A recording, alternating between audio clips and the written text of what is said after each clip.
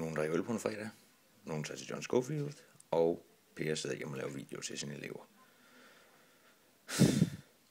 Friday I'm in Love, The Cure.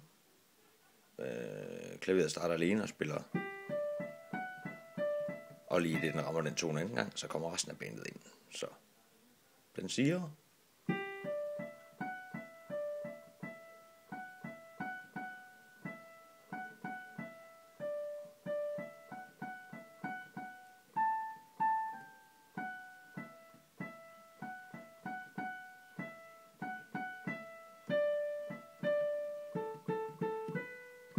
Og så kommer det igen.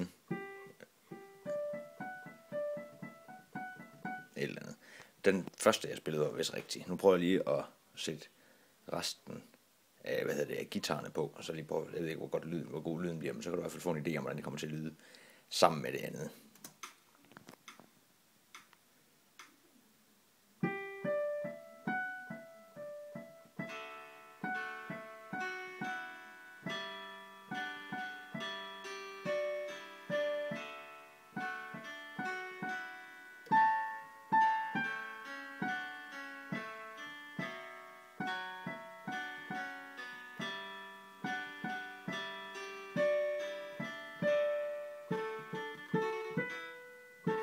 Og så falder bandet lige ud.